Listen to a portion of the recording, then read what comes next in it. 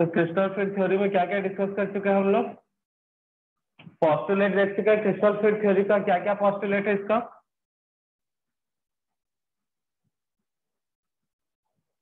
Crystal fit theory का postulate first क्या कहता है? जो सेंट्रल एटम होते हैं, ये इनको कहते हैं पॉइंट चार्ज सेंट्रल एटम कैसे होते हैं? पॉइंट चार्ज और लिगेंड कैसे होते हैं भाई? नेगेटिव चार्ज तो क्या होगा भाई? पॉइंट चार्ज मतलब पॉजिटिव चार्ज है ये। अब सेंट्रल एटम है मेटल पॉजिटिव चार्ज लिगेंड कैसा है भाई? नेगेटिव चार्ज तो टायर और एनायन के बीच जो बॉन्ड बनेगा कौन सा बॉन्ड होगा? आयनिक तीसरी यहाँ पे सेकंड पार्ट में नोट किए थे। यहाँ पे जो बॉन्ड होता है, वो बॉन्ड कैसा होता है भाई? इलेक्ट्रोस्टैटिक्स नेचर का। या फिर आयनिक भी बोल सकते हो, या फिर कोलम्बिक भी बोल सकते हो। थर्ड, मेटल जो है और लिगेंड के बीच जो बोन होता है, वो तो पूरा आयनिक ही ये पता चल गया। मतलब यहाँ पे कोई हाइब्रिडाइजेशन वाला फिनोमिना होता नहीं है according to C F T अब उसके बाद बोलता है, जो मेटल है, लिगेंड के पास जब आता है, क्यों आएगा भाई मेटल के पास लिगेंड? क्योंकि मेटल पॉजिटिव चार्ज स्पीसीज है, लिगेंड क्या है? नेगेटिव चार्ज स्पीसीज तो जब लिगेंड मेटल की अप्रोच करता है, तब जो मेटल का डी ऑर्बिटल होता है, वो डी जनरेट हो जाता है। डी ऑर्बिटल क्या हो जाएगा या डी सबसेल क्या हो जाएगा? डी जनरेट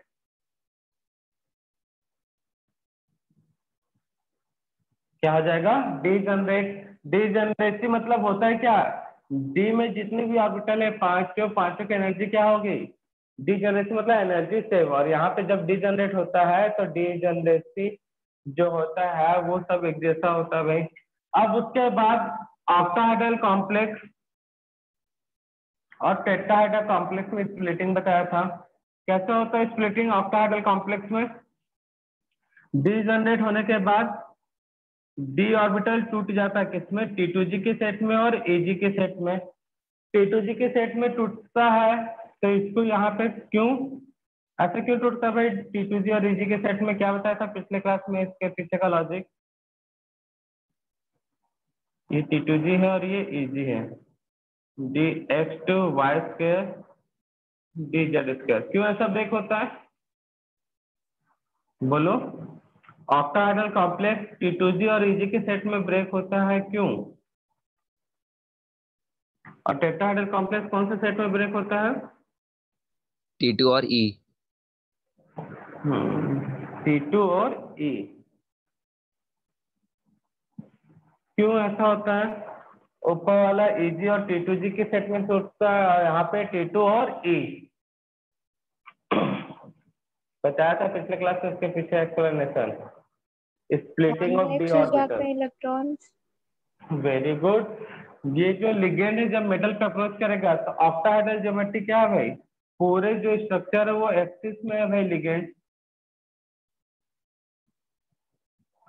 पूरा जो लिगेंड का स्ट्रक्चर है वो एक्सिस पे है, सभी लिगेंड तो लिगेंड यहाँ पे एक्सिस के थ्रू आता है।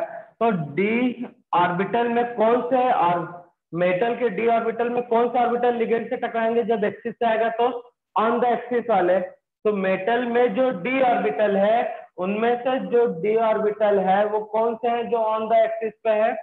तो D X two Y square and D Z square इसलिए पहले रिपल्सन किसमें होता है? मेटल के इलेक्ट्रॉन और लिगेंड के इलेक्ट्रॉन में. रिपल्सन के कारण क्या होता है भाई? हम्म बोलो। सो प्रिया वेटिंग में है। तो रिपल्सन किसमें होगा? मेटल के इलेक्ट्रॉन में और डी ऑर्बिटल के मेटल के डी ऑर्बिटल जो कि ऑन द एक्सिस पे है उनमें रिपल्सन होगा। मेटल के वो ऑर्बिटल जो ऑन द एक्सिस पे है और लिगेंड के इलेक्ट्रॉन में रिपल्सन होगा। इसलिए एजी का एनर्जी क्या होता है? हाई टी टू जी का क्या होता है? लो यहाँ पे उल्टा। जो ज्योमेट्री देखोगे लिगेंड अब भी वहीं से आ रहे हैं। बट फ़र्क क्या है यहाँ पे? ये अपने आप को किसमें अरेंज कर लिए? टेट्राहाइड्रल में। तो टेट्राहाइड्रल में जब लिगेंड आएँगे तो ये बिटवीन द एक्सिस से टकराएँगे, ना कि ऑन द एक्सिस वाले से। मेटल के पीछे टकराएँगे डी ऑर्बिटल से बिटवीन एक्सिस बिटवीन एक्सिस पे कौन से होते हैं?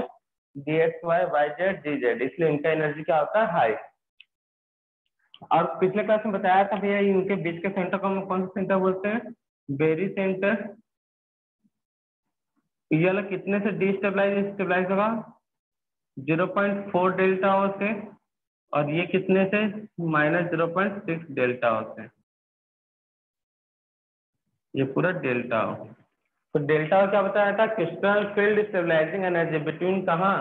T two G orbital and A G orbital in octahedral complex A two T two in tetrahedral complex पिछले लेक्चर में ये भी बताया था इसका कैलकुलेशन कैसे होता है? कैसे कैलकुलेशन होता है भाई?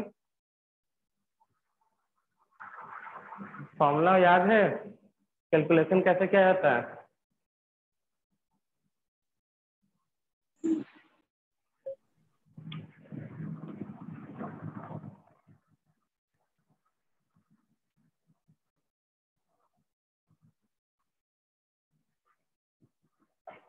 कैसे कैलकुलेशन किया जाता है?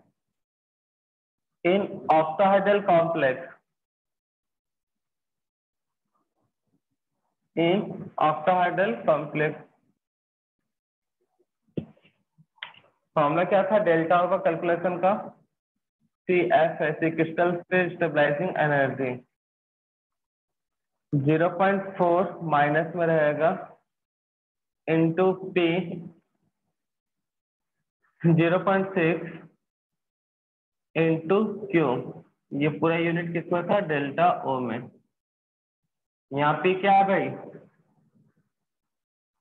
Number of T two G electron and Q क्या था?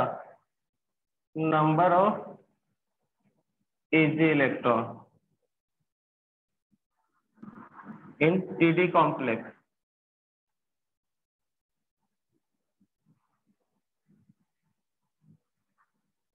CFSE minus 0.6 into P 0.4 into यहाँ पे क्यू पी कर लेते हैं पी तो क्यू क्या वही यहाँ पे ई इलेक्ट्रॉन और यहाँ पे पी क्या है? T two electron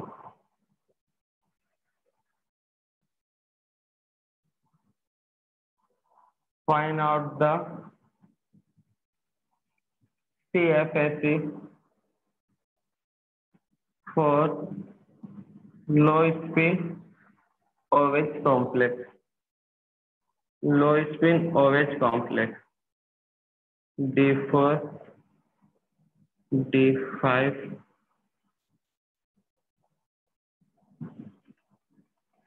D6, D6 system. Find out करो तो। Find out the CFSE find out the C F CFSE for low spin octahedral complex D4 D5 D6 जल्दी से सॉल्व करो।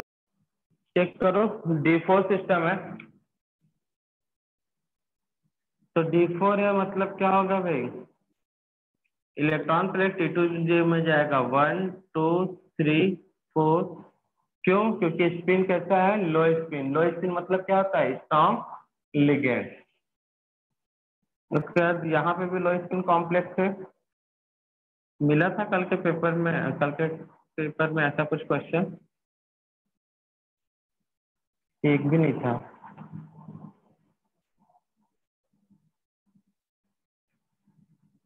डी सिक्स सिस्टम तो ये वाला फॉर्मूला यूज़ करोगे तो पी में इलेक्ट्रॉन कितने भाई?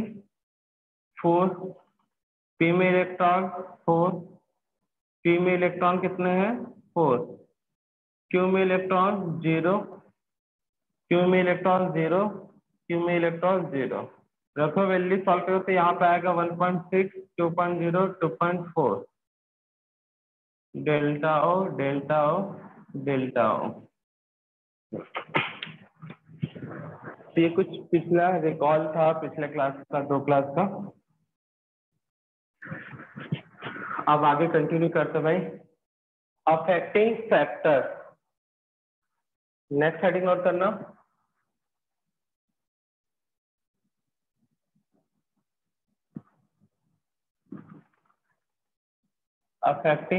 Factors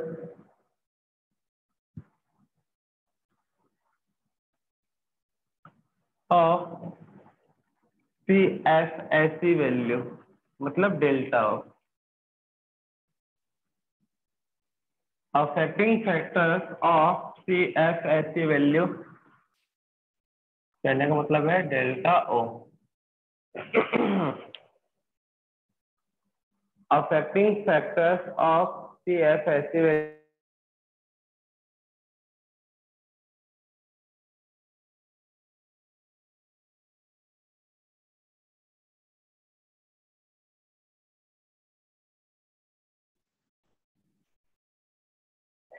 energy हाँ तो कैसे निकाला जाता है भाई? किसके बीच का एनर्जी डिफरेंस है।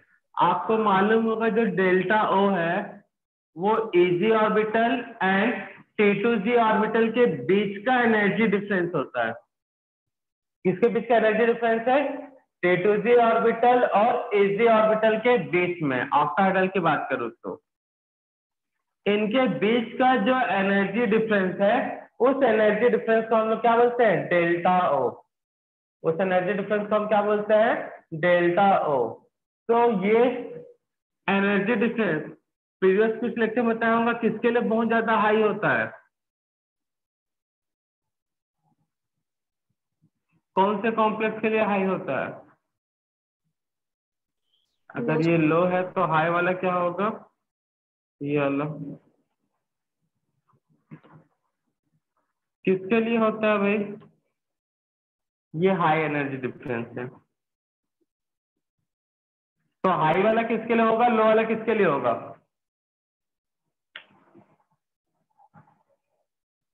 बोलो। लो वाला लो हाई स्पिन कॉम्प्लेक्स के लिए होता है मतलब वीकली गेन और स्ट्रॉन्ग वाला क्या होता है भाई?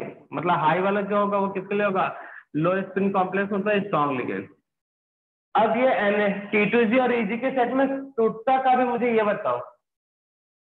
D orbital T two G और इजी के सेट में कब टूटेगा? जब स्ट्रॉन्ग लेजेंड अप्रोच करेगा इलेक्ट्रॉन देने के लिए। कोई भी लिगेंड मतलब आएगा ऑक्टाइडल कॉम्प्लेक्स बनाते समय मेटल की ओर। मतलब मेटल पे मेटल पे लिगेंड जब आएगा मेटल पे लिगेंड जब आएगा, तब डी ऑर्बिटल ब्रेक होगा। किसमें? टी टू जी में और ए जी में। यही ना? तो मुझे बताओ, मेटल पे लिगेंड कब आएगा? जब मेटल पे एक पॉजिटिव चार्ज है टू पॉजिटिव चार्ज है थ्री पॉजिटिव चार्ज है एक्सप्लेन करने के लिए ऐसा बता रहा हूँ फोर फाइव कौन से पॉजिटिव चार्ज पे लिगेंड जल्दी आएगा? मेटल पे जितना ज़्यादा पॉजिटिव चार्ज होगा लिगेंड नेगेटिव चार्ज है तो उतना जल्दी अप्रोच करेगा मेटल की ओर। और मेटल की ओर जैसे अप्रोच करेगा टी टू जी और इजी का क्या होगा? टी टू जी और इजी में डी ऑर्बिटल ब्रेक हो जाएगा। तो कहने का मतलब क्या है? और जितना जल्दी ब्रेक उतना सी एफ़ ऐसी वैल्यू ठीक है ना? लिगेंड जितना जल्दी आएगा सी एफ़ ऐसी वैल्यू का इन दोनों के बीच एनर्जी डिफरेंस है वो उतना ही क्या होगा? हाई तो क्या कह सकते हैं हम लोग? The C F S E value is directly proportional to charge on metal. कौन सा positive charge C F S E value मतलब delta O is directly proportional to positive charge जितना ज़्यादा पॉजिटिव चार्ज है ऑन मेटल उतना होगा ये high first second है electron in metal electron in D orbital of metal D सबसे D सबसे in metal of of metal अब बताओ डी में एट इलेक्ट्रॉन है डी में वन इलेक्ट्रॉन है या टेन कर लेते हैं। तो बताओ लिगेंड किसमें जल्दी आना पसंद करेगा? टेन वाले इलेक्ट्रॉन की ओर जल्दी अप्रोच करेगा या वन इलेक्ट्रॉन की ओर ज़्यादा अप्रोच करेगा? वन क्यों वन में? वन करेक्ट है बेटा। वन की ओर अप्रोच करेगा लेकिन क्यों? इलेक्ट्रॉन इलेक्ट्रॉन रिपल्शन कम होगा। बहुत बढ़िया। एक तो वेकेंट ऑर्बिटल भी बहुत है और डी में भी इलेक्ट्रॉन है और लिगेंड के पास भी इलेक्ट्रॉन है। इन दोनों इलेक्ट्रॉन के बीच रिपल्सन जो है, वो रिपल्सन क्या होगा? यहाँ पे कम होगा। और यहाँ पे जो इलेक्ट्रॉन लिगेंड का और डी का इलेक्ट्रॉन है, इन दोनों के बीच रिपल्सन क्या होगा? हाई होगा। तो यहाँ पे रिपल्सन वाला फैक्टर वर्क करता है। वेकेंट जो यहाँ पे वैकेंसी है डी ऑर्बिटल का, ये भी हाई है। और ज़ाहिर सी बात है भैया, जितना ज़्यादा मेटल पे पॉजिटिव चार्ज उतना ज़्यादा डी उतना ही कम होगा डी में इलेक्ट्रॉन तो बोल सकते हो C F S E value मतलब delta O is directly personal to या डायरेक्टली मतलब electron in D orbital inversely personal to electron in D subshell सब मतलब इस टाइप का क्वेश्चन पूछा।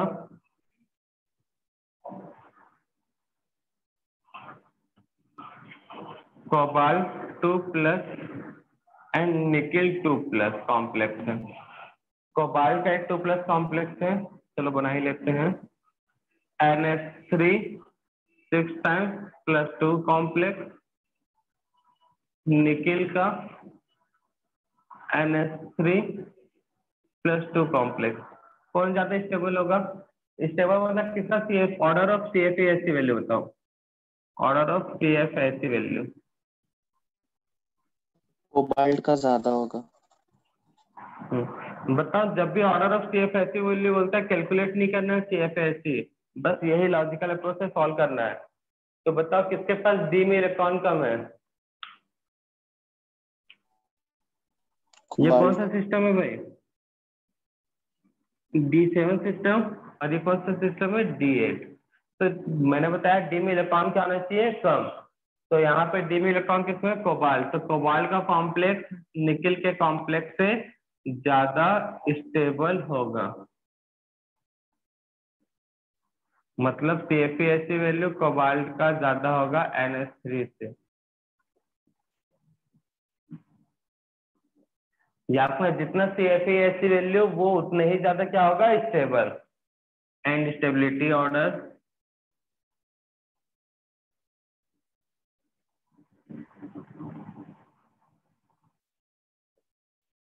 किसका ज़्यादा होगा? Cobalt N three six two plus तो रटना मत सब समझने वाला है यहाँ पे.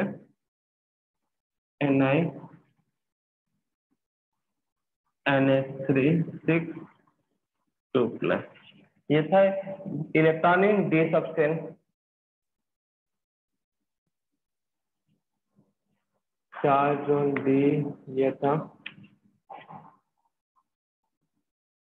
Lone pair density. on ligand. Lone pair density on ligand. यहाँ पे, यहाँ जितना ज़्यादा डेंटेड लिगेंड हो मतलब लोन पेयर डेंसिटी जितना ज़्यादा वो उतना ही क्या बनाएगा? स्टेबल कॉम्प्लेक्स अगर लिगेंड में एक लोन पेयर है और एक में दो लोन पेयर और एक में तीन लोन पेयर है तो ज़्यादा स्टेबल कॉम्प्लेक्स कौन बनाएगा? तीन वाला। मतलब polydentate ligand more stable complex बनाते हैं। ठीक है ना? As compare to monodentate ligand तो यहाँ पर नोट कर लेना। The C F SE value, the C F SE value is high with respect to polydentate ligand. क्या रखना जितना ज़्यादा स्टेबिलिटी उतना ज़्यादा सी एफ़ ऐसी वैल्यू मतलब C F SE value direct to density of lone pair density of lone pair on ligand. Lone का density जितना ज़्यादा होगा वो उतना ही ज़्यादा स्टेबल कॉम्प्लेक्स बनाएगा। नोट डाउन करो इतना को जल्दी से पहले। तो थर्ड वाले पॉइंट के लिए एग्जांपल है। चार कॉम्प्लेक्स है बी सी डी तो इनमें स्टेबल कौन सा होगा? मैंने बताया स्टेबल कौन सा होता है? जिसमें बाइडेंटेड ट्राइडेंटेड या हेक्साडेंटेड लिगेंड का अमाउंट ज़्यादा हो। सब में कोबाल इसका कॉम्प्लेक्स है और इसमें C F S C value बोला तो C F S C value किसका है है बताओ? D C B A D उसके बाद सी थ्री टाइम से टू टाइम से वन टाइम से ज़ीरो टाइम से उसके बाद बी और उसके बाद ए तो स्टेबिलिटी ऑर्डर भी यही चलेगा। C F S C value proportional to stability of complex इसको भी नोट डाउन करो थर्ड पॉइंट को भी। तो लिगेंड जितना ज़्यादा मतलब स्ट्रांग होगा, उसका स्ट्रेंथ जितना हाई होगा, उसका एस क्या होगा? हाई तो यहाँ पे ऑर्डर ऑफ़ सी क्या होगा? ये ए कॉम्प्लेक्स बी और ये सी तो order of C order of C F S and stability order.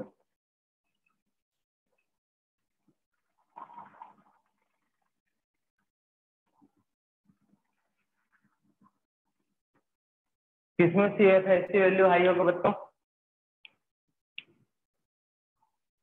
water N S three C O तीनों में स्ट्रॉन्ग लिगेंड कौन सा? सी ओ सेकेंड में एन एस सी और थर्ड में वाटर बताओ किसका C F S C value high होगा का सी बी ए सी बी और ए तो यही ऑर्डर भी चलेगा किसका? स्टेबिलिटी का। यही ऑर्डर किसका फॉलो करोगे? स्टेबिलिटी का। नोट डाउन करो जल्दी से। नेक्स्ट नोट करना value of principal quanta number तो प्रिंसिपल क्वांटा नंबर मतलब एन का वैल्यू जितना हाई होगा, वो उतना ज़्यादा स्टेबल होगा। तो यहाँ पे मैग्नीज यहाँ पे इलेक्ट्रॉन कहाँ जाता है भाई? थ्री में। ये कौन सा है? फोर और ये एलिमेंट कहाँ से? फाइव में जाता है लास्ट इलेक्ट्रॉन तो प्रिंसिपल क्वांटा नंबर का क्या है भाई यहाँ पे? Three four five magnet three वाला एलिमेंट है टेक्नीशियम फोर वाला और रेहनियम फाइव तो यहाँ पे प्रिंसिपल क्वांटा नंबर क्या है? फाइव यहाँ पे फोर एंड मैग्नीज में थ्री तो प्रिंसिपल क्वांटा नंबर किसका ज़्यादा है? फाइव फोर थ्री में कौन ज़्यादा होगा? प्रिंसिपल क्वांटा नंबर निकालने आता है ना स्टार्टिंग में जो नंबर है, वही प्रिंसिपल क्वांटा नंबर तो आंसर कौन सा स्टेबल होगा सी मतलब वैल्यू किससे ज़्यादा होगा? सी बी ए स्टेबिलिटी भी C B A note down करो। Value of principal contact number तो आज की सेवा यहीं पे करते हैं समाप्त। कल कंटिन्यू आज की सेवा करते हैं, समाप्त। बाय सभी